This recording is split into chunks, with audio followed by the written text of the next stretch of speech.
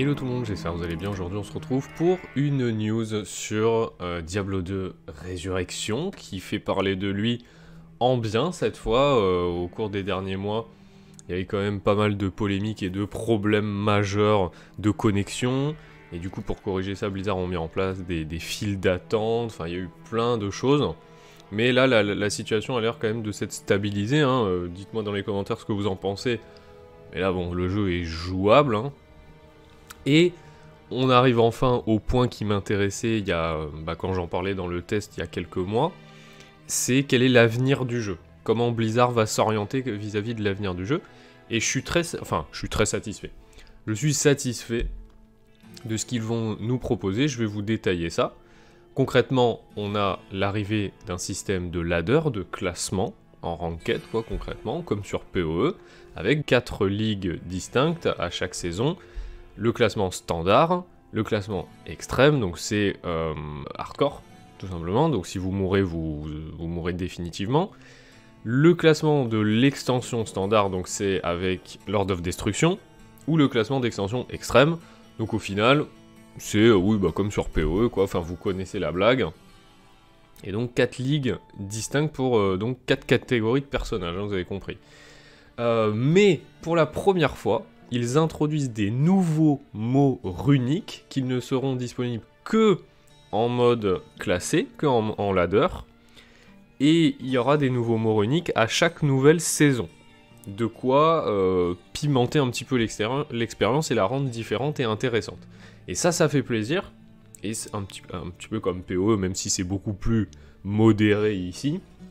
Euh, ça va donc ajouter des nouvelles mécaniques à à euh, chaque saison. Et ça, ça ressemble un petit peu à l'entretien de Diablo 3. Vous savez, c'est quelque chose d'un peu feignant, entre guillemets qui prend pas beaucoup de temps à l'équipe technique à développer, puisque là c'est juste des morts uniques, quoi. C'est, ça peut être juste du stéroïde de stats ou carrément des nouveaux petits effets sympathiques. Et voilà. Après, honnêtement, Diablo 3, il est mal entretenu. Hein. Ils ont abandonné le jeu littéralement, mais pas totalement. Et typiquement cette saison 25 là actuelle, avec les nouvelles gemmes et tout, il y a de l'effort. Au moins il y a quelque chose. Tu vois, le jeu n'est pas mort et Blizzard n'a pas l'intention de le complètement le délaisser. Et j'apprécie voilà, ces petits efforts qui ont été faits sur Diablo 3 de nous proposer bah, le cube de canaille, euh, euh, des nouvelles, euh, bah, les primordiaux aussi, il y a eu les primordiaux, il y a eu quand même beaucoup de nouveautés qui ont complexifié le jeu petit à petit après sa, son extension finale. Bref, et j'espère voir la même chose sur Diablo 2. En tout cas, on a là un marquage clair entre auparavant où je vous disais que le jeu euh, serait tel quel comme il était à l'époque, et là on a une évolution complète dans la, façon de penser de Blizzard, puisque on va avoir de l'équilibrage des classes. Alors pour moi c'est primordial, je, je comprends pas trop comment... Enfin pourquoi euh, les, articles de presse en parlent aussi euh, légèrement, comme si c'était normal d'équilibrer le jeu, tu sais, après la sortie. Mais Blizzard avait été très clair à moins que j'ai mal compris quelque chose, hein. mais pour moi Blizzard avait été très clair que le jeu serait une expérience euh, originelle, quoi, euh, fidèle au jeu d'origine, et qu'il n'y aurait pas de modifications. C'est d'ailleurs pour ça qu'ils n'ont pas fait de modifications à la sortie, c'était pour que ce soit legacy, vous voyez ce que je veux dire Et maintenant ils en font. Je comprends pas trop la démarche. Alors est-ce que ces cet équilibrage ne sera euh, appliqué que aux personnages saisonniers? Est-ce que c'est ça? Euh, Ou alors c'est au jeu global, dans, sa globalité, même les persos standards. Euh, enfin bon. En tout cas, bah, si on commence à remanier et à équilibrer beaucoup de choses qui vont pas dans le jeu, et pas, typiquement l'assassin est clairement, j'en avais parlé dans mes lives, est totalement à la ramasse dans cet aspect euh, que je jouais, la martial art, par rapport à d'autres classes, puisque la difficulté, c'est marqué là, les compétences d'arts martiaux, peuvent devenir de plus en plus difficiles à exécuter en difficulté plus élevée. Nous cherchons donc comment améliorer la génération et la dépense de points de combo. C'est intéressant. En outre, diverses compétences de pièges sont rarement utilisées. Nous réévaluons donc les exigences de synergie euh, pour rendre les configurations qui reposent sur les pièges plus attrayantes et améliorer les bonus d'échelonnage des dégâts. Vous voyez, c'est quand même des changements profonds. Et en plus, il, ne précise même pas à quel point. Euh, ça, on va le découvrir euh, sur le, sur le tas, quoi. Bien sûr, tout ça c'est pour 2022 de toute façon. Hein. C'est pas pour le mois. Bah oui, non, on est en décembre en fait. Donc oui, c'est pour bientôt, début 2022. Euh, d'ailleurs, j'ai oublié d'aborder un point, je sais plus où c'était dans l'article. De toute façon, ça c'est littéralement une traduction sur Judge Hype de euh, la news sur Blizzard en fait. Hein. donc c'est juste une traduction. Enfin en français. mais c'était écrit quelque part, c'était que évidemment, votre personnage à la fin d'une saison, que donc votre personnage saisonnier à la fin d'une saison, il ne sera pas rangé avec vos personnages standards. Ok? Avec vos personnages euh, hors, euh, voilà, hors saison. Il sera rangé euh, contrairement à PoE, pour le coup. Il sera rangé dans une autre catégorie qui s'appelle hors, hors, saison, je crois, ou un truc comme ça. Et ça veut dire que euh, bien sûr, puisque sur lui, il a encore les mots runiques uniques euh, propres à la saison. Ok? Euh, Ce qui m'intéresse, c'est de savoir est-ce que au cours de plusieurs saisons, tous les personnages saisonniers sont mis dans la même case et du coup peuvent s'échanger entre eux des objets ou des les, mots enfin, qui ont été précédemment introduits dans différentes saisons. Vous m'avez compris ce serait intéressant de le savoir ça. Ou est-ce qu'il y aura un rangement spécifique à chaque saison euh, pour séparer tout ça? Alors, maintenant je vais passer en revue rapidement l'équilibrage de chaque classe. Ils disent là, nous souhaitons que vous puissiez être créatif avec les configurations de personnages, mais nous ne voulons pas réinventer la roue et détourner les classes de leurs objectifs principaux sans trop entrer dans les détails. Jetons un œil aux philosophies qui sous-tendent les divers changements de classe. Voilà. Alors, L'assassin, bah vous avez vu. L'Amazone. L'Amazone est aussi agile que polyvalente. Dans l'ensemble, nous aimons la classe telle qu'elle est et la trouvons relativement équilibrée. Néanmoins, nous pourrions améliorer les compétences de mêlée de l'Amazone. Nous voulons améliorer les forces de certaines compétences de mêlée telles que empaler et repousser pour qu'elles soient plus utilisées. Nous, nous, aimerions également nous pencher sur les exigences de synergie des compétences de mêlée afin que les joueurs puissent utiliser les points de compétences pour explorer d'autres possibilités. Enfin, nous envisageons euh, d'améliorer certaines compétences dans l'arbre de l'arc et de l'arbalète afin d'améliorer la jouabilité à l'arc en difficulté plus élevée. Donc des petits changements pour l'Amazon sur, et c'est ce qu'on va revoir dans, ce qu'on va voir dans, toutes les classes, sur ce qui est peu joué, en fait, tout simplement. Les, les compétences qui sont peu jouées, c'est souvent les moins puissantes, et donc il y a du rééquilibrage là-dessus. Le barbare. La force musculaire du barbare est inégalée, nous pourrions néanmoins apporter plus de diversité à ses compétences de combat.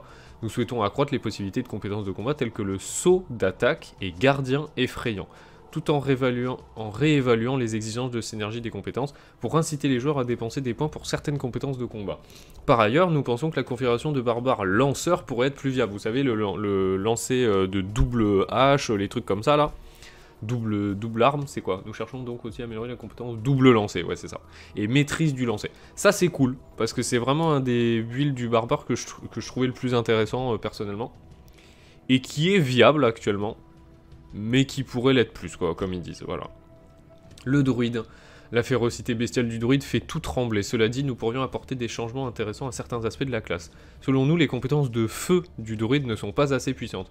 Nous réévaluons actuellement les délais de lancement des compétences de feu, étudions comment améliorer leurs dégâts physiques et retravaillons les synergies. Nous réfléchissons aussi à modifier d'autres compétences élémentaires sous-utilisées et souhaitons améliorer les commandes d'explosion arctique pour que les joueurs puissent canaliser la compétence plus librement au lieu de verrouiller une cible à la fois. D'autre part, nous jugeons les compétences d'invocation faibles à difficulté élevée. Nous intéressons donc aux gains de vie par niveau, à des améliorations de confort de jeu, aux dégâts infligés et à de nouvelles synergies pour les corbeaux, les loups et les vrilles. Je ne me rappelais pas que ça s'appelait les vrilles en français. Enfin, nous cherchons à apporter des améliorations aux compétences du Kodiak et plus particulièrement aux synergies. Kodiak, je crois que c'est la forme de l'ours, hein, si je dis pas de conneries. Le nécromancien. Le maître de la mort envoie ses ennemis dans la tombe avant l'heure. A l'instar de l'Amazone, nous aimons le nécromancien tel qu'il est. Nous pensons néanmoins qu'il est possible d'améliorer certaines invocations que nous jugeons sous-utilisées.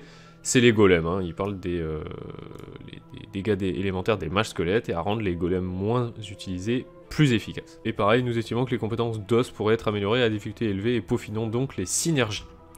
Le pala, euh, bah, il est toujours aussi puissant, mais il y a des compétences comme point des cieux, des compétences à distance.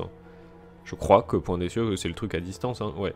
Nous euh, sont, sous-utilisés. Nous cherchons donc à les rendre plus attrayantes pour inciter les joueurs à dépenser des points pour débloquer ses compétences. Nous pensons qu'il est aussi possible d'ajuster les compétences d'aura offensive en rendant notamment les auras de dégâts de zone plus efficaces à plus courte distance. Nous souhaitons également améliorer Épine afin que la compétence ne perde pas en efficacité et inflige des dégâts significatifs à un niveau plus élevé.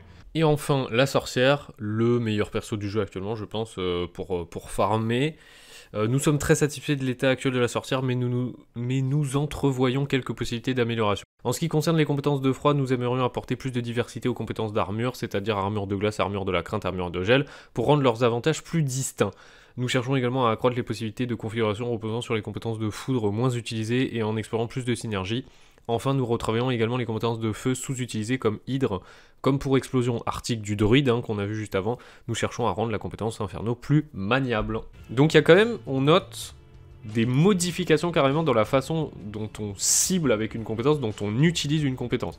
S'ils sont quand même des modifications profondes carrément de gameplay là. Le reste, c'est simplement de l'équilibrage des statistiques. Mais il y a quand même des, des, modifications bah, euh, conséquentes ici dans le gameplay carrément. Et je trouve c'est bien. Je trouve c'est bien qu'ils aillent jusque là. Comme vous l'avez peut-être remarqué, il n'y a aucun nerf dans toutes ces modifications pour sûrement bah, faire plaisir à tous les joueurs, hein, pour pas prendre de risques. Et, le et encore une fois, rester quand même, euh, ne pas réinventer la roue et rester fidèle au jeu d'origine parce que si tu commences à nerf certains trucs euh, comme euh, bah, la sorcière qui mériterait carrément un nerf sur, sur certaines compétences, hein, sur Blizzard par exemple, bah c'est à mon avis ça va faire ça va les gens vont péter un cap quoi. Donc en fait ils se sont contentés d'EP ce qui avait besoin d'être EP et je trouve que c'est une politique euh, safe et euh, pas bête. Parce que du coup, ça redonne de l'intérêt à beaucoup de builds. Et ça permet tout simplement de s'amuser, hein, c'est le but au final. Donc c'est plutôt cool. Et il y a également une modification au niveau des mercenaires. Euh, puisque les mercenaires, actuellement, tout le monde joue les mercenaires du désert. Hein, enfin, la plupart du temps, ceux qui donnent de la, vous savez, l'aura de régénération de mana, euh, ils sont tous hyper viables. Et donc du coup, ils vont essayer de redonner de l'intérêt aux mercenaires des autres actes. Il y a également les nouveaux mots runiques, pour l'instant ils n'ont pas été détaillés, mais vous aurez plus de détails sur le stream de euh, Mister Lama là, qui est en, partenariat avec Blizzard, hein, je pense, complètement. Et donc il y aura un live le 16 décembre, c'est littéralement aujourd'hui, à 20h. Donc euh, n'hésitez pas à aller checker ça pour en apprendre plus sur les nouveaux mots runiques. On est à 13 minutes de vidéo. Ok, ça va, j'ai le temps encore. Euh, petite news comme ça. Que, petit article que j'ai trouvé euh, intéressant sur Judge aussi. Qui parle de Et maintenant un Diablo 1 remastered. Et on va en parler un petit peu ensemble, ça m'intéresse d'avoir votre avis. L'article est très bon. Il est court, hein, mais il est bon. Et c'est littéralement ce que je pense dans, les, dans les grandes lignes. Concrètement, Diablo 1, euh, c'était un merveilleux jeu. Pour moi, c'est les fondations de Blizzard. Euh, c'est ce qui a forgé Blizzard par la suite. C'est le premier jeu multijoueur de, son époque. Euh, c'est, lui qui a vu l'apparition de Battle.net. Donc Diablo 1, c'est un événement historique, au-delà juste du jeu, qui a pris un coup de vieux, hein, clairement, dans son gameplay, beaucoup plus que Diablo 2, qui est beaucoup plus couloir, euh, mais aussi beaucoup plus claustrophobique hein, par la même occasion. Donc pour moi, Diablo 1 n'a pas dit son dernier mot, et un remake, un remastered plutôt, euh, peut-être également par Vicarious Vision, serait complètement envisageable, et le travail serait beaucoup plus euh, rapide à effectuer, beaucoup moins colossal que celui du 2. C'est dit dans l'article, je sais plus trop où, mais de toute façon je suis complètement d'accord, c'est que tout simplement dans Diablo 2, euh, alors déjà il y a, euh, dans Diablo 1 pardon, il y a que 16 niveaux, voilà c'est là. Euh, le premier Diablo ne comporte que 16 niveaux, le nombre d'ennemis n'a rien à voir avec ceux que l'on peut croiser dans le second épisode, et les mécaniques sont nettement beaucoup plus simples, c'est une évidence, il n'y a que 3 classes, il y a les compétences de mémoire, c'était des parchemin, je crois. Il n'y avait même pas de compétences spécifiques aux classes hein, de, mémoire. il me semble de mémoire que c'était juste des parchemins. Le gameplay était vraiment vieillot, quoi. C'était vraiment des... Oui, simple. Et un remaster pourrait être fait très rapidement, limite en réutilisant peut-être des assets de Diablo 2 euh, Résurrection. C'est vraiment, je veux dire, tout, ça c'est pour dire que c'est pas du tout impossible et si Blizzard le voulait, il le ferait. Mais pourquoi c'est quand même discutable et pourquoi c'est peu probable au final que Blizzard le fasse? Bah, C'est expliqué tout simplement euh, ici. Et, je veux avoir votre avis euh, juste après. Ceci dit, le succès ne serait pas le même que celui de Diablo 2. Si Diablo est le premier titre de la franchise, c'est le second opus qui a fait de lui une série légendaire. Un Diablo Resurrected serait par contre une immense opportunité pour de nombreux joueurs de découvrir Tristram sous un autre angle quand ces PNJ étaient encore en vie. Quand je discute avec certains joueurs, je me rends compte que peu d'entre eux ont mis la main sur Diablo. Parmi ceux qui ont eu le courage d'essayer, un bon nombre l'a quitté au bout de 5 minutes à cause de l'aspect visuel du hack and slash qui a, comme je vous le disais, pris un gros coup de vieux. Hein. Pourtant, le jeu a encore de jolies choses à proposer, à commencer par une ambiance gothique assez incroyable. Les musiques de Diablo 1, c'est horrible. C'est un jeu qui faisait flipper de ouf. Et encore une fois, son gameplay très, enfin son level design très couloir, mais quand même avec de la, procéduralité et de la génération aléatoire de tuiles, euh, chose qu'ils ont repris dans le 2. Hein. C'était quelque chose emprunté à Rogue, hein, euh, premier du nom à l'époque. Et euh, c'était bah, la naissance en fait du hack and slash, du genre hack and slash comme on le connaît aujourd'hui, vu de dessus, euh, avec de la génération procédurale de niveau, avec euh, des combats en temps réel, euh, et avec ouais, des, voilà, du, hack and slash, hein, c'est-à-dire porte-monstre trésor. On arrive dans une salle, on dégomme tout ce qu'on voit, on loot et on recommence. donc voilà, c'est Diablo 1 pour moi, c'est bah, ça restera dans mon cœur un jeu que j'ai adoré. Et en plus, moi je l'ai fait sur PC, mais je l'ai connu sur PlayStation 1. Donc pour les anciens, vraiment, là, euh, peut-être vous vous reconnaîtrez, mais je l'ai connu sur PlayStation 1. Et Diablo 1 sur PlayStation 1, c'était une expérience encore plus euh, notable, enfin appréciable, parce que vous pouvez jouer en coop local avec votre pote, et chacun avait une manette. Et donc de pouvoir jouer à, Diablo 1 en, je vous assure, en coop local, c'est un autre jeu, et c'était génial. Un petit peu comme aussi euh, Dark Alliance, euh, les Dark Alliance avaient pu proposer une expérience du même type. Et là où ça nous intéresse, là où j'ai mis des doutes, c'est sur l'aspect financier d'un tel produit. Impossible de le vendre à prix plein. Ça c'est une évidence, c'est un jeu pour moi qui vaudrait euh, grand maximum 20 euros, et c'est déjà beaucoup. Je pense qu'il devrait plus tourner autour de 15 euros, tu vois, quelque chose comme ça. Mais connaissant Blizzard, tu vois, c'est pas évident. De plus, les ventes seraient très éloignées de celles de Diablo 2 Résurrection, dont la fanbase est bien plus large. Du point de vue économique, il serait ainsi difficile de faire admettre le financement à Activision Blizzard. Cependant, si ce Diablo Remaster venait s'insérer dans une politique globale de la franchise Diablo, la, pilule serait plus facile à faire passer.